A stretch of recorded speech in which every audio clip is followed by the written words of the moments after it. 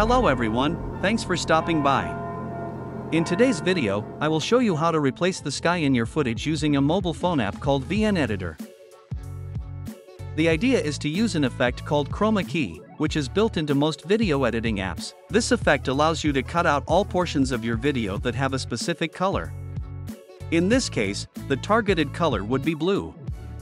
First and foremost, place your footage on the second layer to create space for inserting your new sky. Scroll down the toolbar on your bottom screen to the right to find the forward button. Now, you have some space underneath your footage. Press this button right here to add another clip. Find a photo of the sky. Scale and reposition using your fingers so that it fits your screen. To place it under your footage, press and hold your finger until you can lift it and reposition the clip underneath your footage. Now, onto some magic, select your footage and find a tool called Chroma. It will open a panel, allowing you to pick a color and an intensity slider. Place the color picker on some blue part of your footage to cut out, use the intensity slider to intensify the effect. If you are on the latest version of the app, there will be a spill slider to refine your selection, make use of it. Play your footage to see if there is any spill. If you notice any, increase the intensity to remove it, and you are good to go. When playing back your clip, you may notice that the sky doesn't match because it doesn't move with your camera.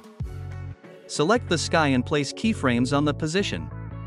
Set the first keyframe at the beginning of your clip, reposition your clip, then go to the end of your clip and reposition it again to match the movement of your camera. The next step would be to color correct both footages so that they can blend together seamlessly. Select your footage, go to the toolbar, choose Filter, and click on Adjust.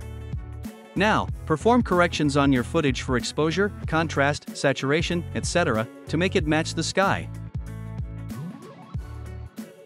Finally, if you encounter an issue where the chroma key effect cuts out other parts of your footage instead of just the sky, like in my footage where it cuts out a little bit of the statue due to the reflection of the sky on it.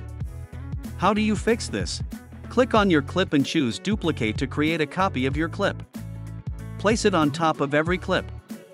On the toolbar, select the Mask button and use the radial mask.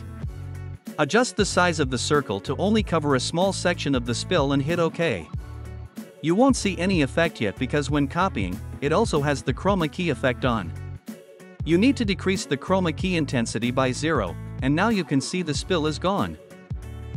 Thanks for watching. I will see you guys in the next video.